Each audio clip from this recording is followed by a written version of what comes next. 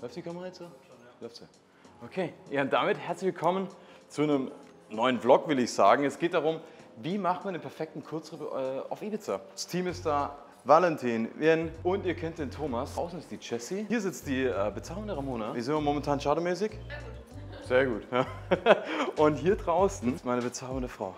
Und wir sind alle fleißig bei der Arbeit. Und jetzt geht es darum, das ist die meistgefragte Frage auf meinem Social Media. Hey Johannes, wie verbringe ich fünf Tage hier perfekt? Kannst du mir empfehlen? An welchen Strand soll ich gehen? In welches Hotel soll ich gehen? Was sind die schönsten Gegenden für Familien? Das alles jetzt in diesem Video.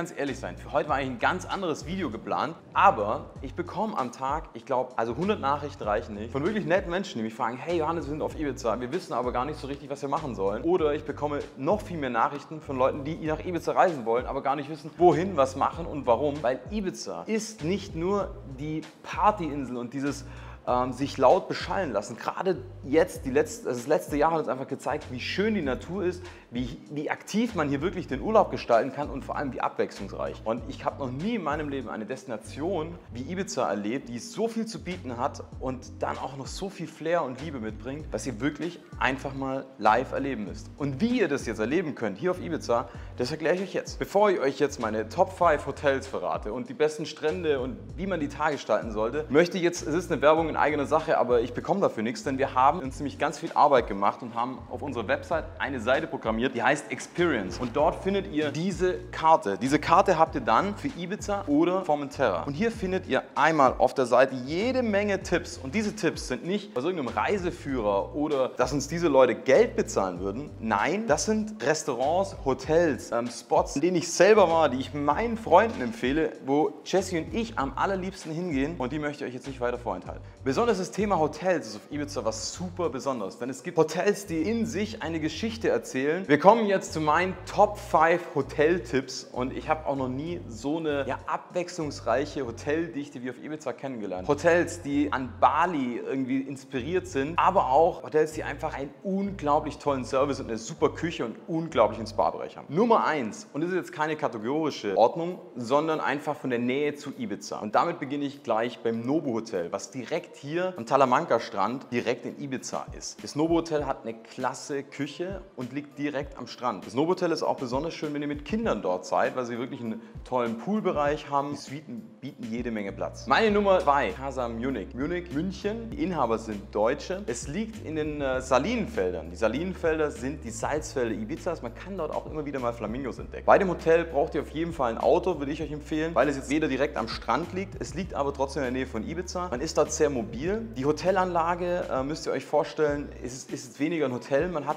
dort mehr wie Bungalows, Häuser. Wir haben jetzt einmal quasi so den Familienbereich, der echt super schön ist. Oder es gibt auch so einen Adults-Only-Bereich. Ohne Kinder hat man da eben diesen Pool. Ganz cool ist eben ähm, ja, der, der Strand Salinas was dort nicht unweit davon entfernt ist. Wenn ihr euch auch nur einen Roller mietet, äh, ist es auf jeden Fall auch ein super Hotel. Nummer 3 in Santa Eulalia das W Hotel. Eignet sich aus meiner Sicht besonders für Pärchen. Sie haben eine richtig coole Rooftop-Bar. Was auch super ist, ist echt dann schon fußläufig dann zum Meer. Santa Eulalia ist ein kleines Dorf. Klein würde ich eigentlich jetzt nicht mal mehr sagen, ist schon eine kleine Stadt. Ganz anders als Ibiza ist deutlich ruhiger. Allgemein der Ort Santa Eulalia ist für Familien sehr schön. Da leben auch super viele Deutsche. Sehr viele tolle Restaurants findet ihr dort. Von Santa Eulalia braucht man aber schon mehr als 20 Minuten. In der Sommersaison würde ich sogar sagen eher 30 Minuten nach Ibiza. Meine Nummer 4, also wie gesagt, es hat nichts mit Rating zu tun, sondern einfach mit der Nähe zu Ibiza.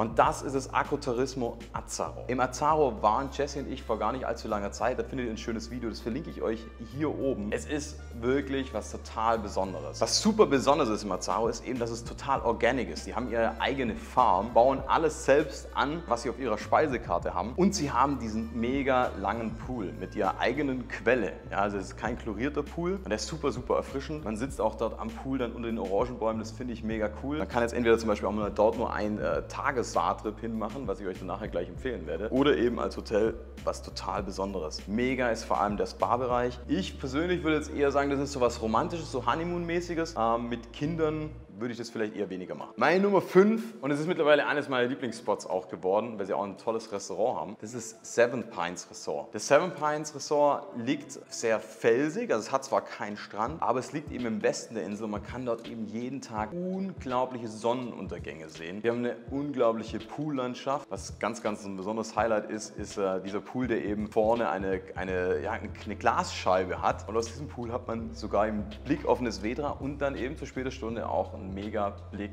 auf den Sonnenuntergang. Für Familien sicherlich mega. Man äh, lebt dort eher in äh, Bungalows, in Häusern, in Apartments. Da gibt es verschiedene Zimmerkategorien. Ist finde ich schon ein richtig klasse Geheimtipp. Das braucht man glaube ich nicht mehr sagen, weil es schon echt ein Insider ist, aber es ist Einfach ein fantastisches Hotel. So, wenn ihr euch jetzt für ein Hotel entschieden habt, in dem ihr euch wirklich wohlfühlt und zu Hause fühlt, dann ist ja die nächste Frage, wie gestalte ich jetzt meine nächsten Tage? Und deshalb habe ich euch jetzt meine Empfehlung, wie ihr auf jeden Fall mal fünf Tage voll planen könnt. Den ersten Tag eines Urlaubs verbringe ich am liebsten damit, mich erstmal anzuklimatisieren und mich mal umzuschauen. Und das würde ich euch wirklich am Strand tagsüber empfehlen. Je nachdem, wenn euer Flieger ankommt, ist ein Strandtag immer das Richtige. Mein persönlicher Lieblings-Beachclub am Strand ist der Coco Beach in Playa de Bossa. Der Playa de Bossa Strand ist super, super schön und da ist auch wirklich viel los. Das heißt, man kommt auch mal ganz schnell in wirklich diese Urlaubsstimmung auf Ibiza. Und der Coco Beach bietet wirklich eine super Küche und tolle Sunbeds. Mein Lieblingsessen dort ist, weil ich es auch so vermisse, ist Wiener Schnitzel. Das muss man da bestellt haben, ist super lecker und sagt bitte liebe Grüße an die Leute, die dort arbeiten. Wirklich ein tolles Personal. Jetzt, wo wieder alles offen ist und das Leben wieder hier auf der Insel so beginnt, soll der erste Abend in die Stadt gehen. Es ist einfach so eine malerische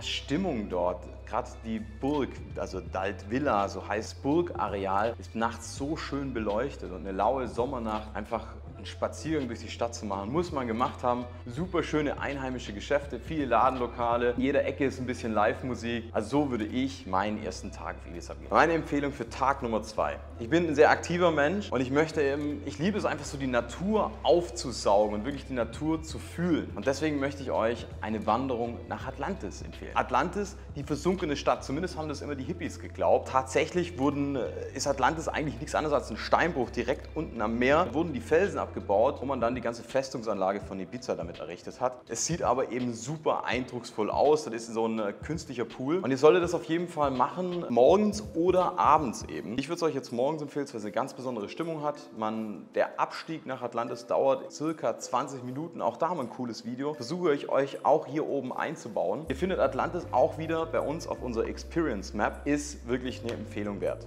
Nachdem wir das jetzt gerade geklärt haben, würde ich euch, nachdem ihr in Atlantis wart, eine Entspannung in der wunderschönen Bucht am Strand Cala de Orte. Bei meinem guten Freund Nick soll dort das beste Paella-Restaurant sein. Ich war selber dort noch nicht. El Carmen. Ganz, ganz wichtig an dieser Stelle. Und deshalb haben wir auch diese Experience Map. Da seht ihr schon die Restaurants. Ihr solltet immer vorher im Restaurant reservieren. Ganz besonders in der Zeit Juli und August. Ansonsten kann es sehr frustrierend werden. Romantiker sollten jetzt ganz gut aufpassen, denn nirgendwo wird es romantischer als am Esvedra.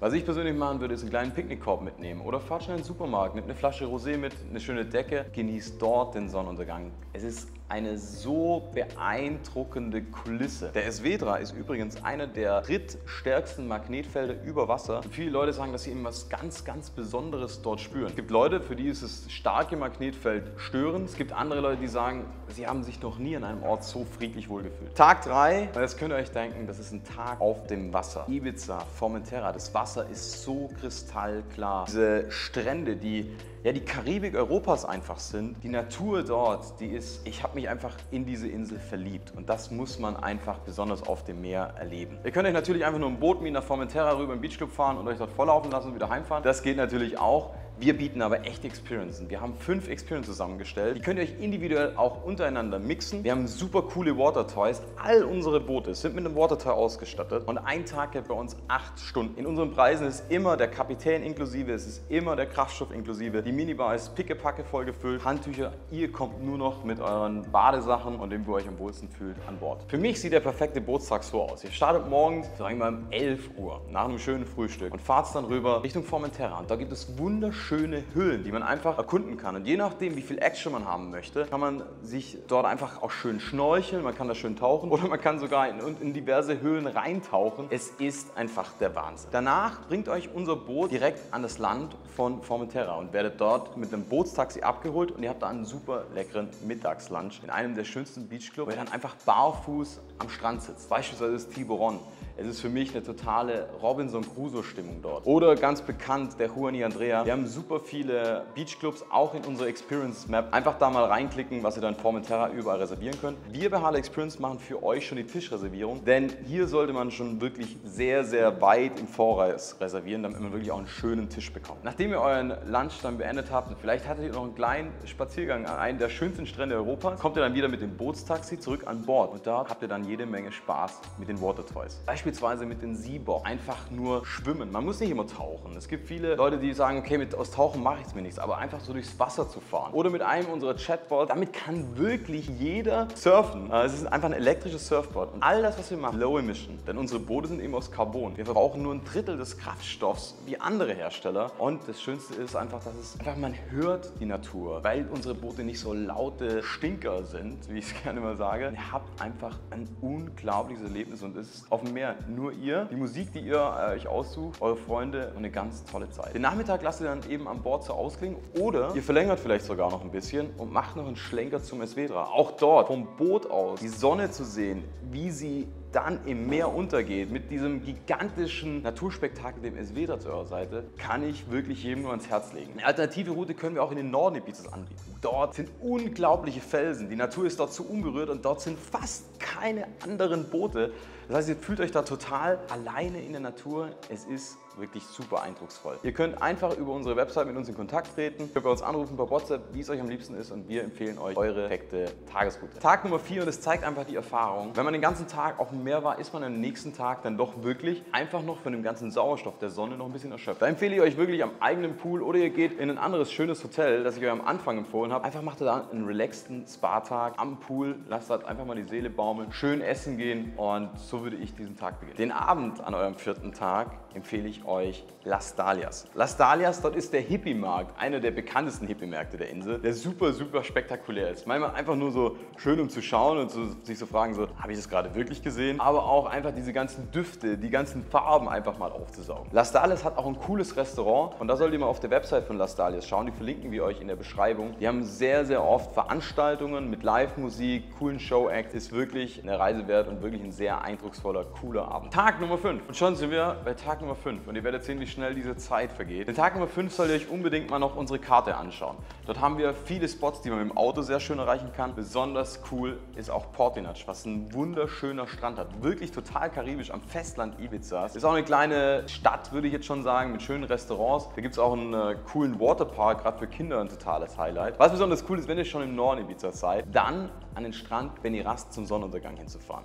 Das ist einmal dieser Felsen, der in etwa so aussieht. Und der sieht aus wie ein Finger, der aus dem Meer nach oben schaut. Und deswegen heißt er auch Finger Gottes. Und was ganz cool ist dort, dass die Hippies dort abends am Sonnenuntergang trommeln. Was einfach schon cool ist, so mitzuerleben. Das ist eine ganz besondere Stimmung. Das nimmt wirklich auch, ja, das macht was mit einem. Da gibt es auch ein Beach-Restaurant, das heißt Elements. Das ist eigentlich ganz cool, lässig da zu sitzen. Ist auch wirklich eine ganz schöne, coole Location. Kann ich euch an der Stelle wirklich empfehlen. Das war es schon. Meine Empfehlung für fünf Tage auf Ibiza. Für einen Kurztrip, für einen verlängertes Wochenende oder einfach nur als Add-on für euren längeren Urlaub. Ich freue mich, wenn es euch gefallen hat. Ich empfehle euch besonders auf unserer Website www.hallaexperience.com unter dem Punkt Experience findet ihr super viele Eindrücke. Ich verlinke euch das alles auch noch in der Videobeschreibung. Und wenn ihr bei uns bucht, werdet ihr Ibiza auch lieben.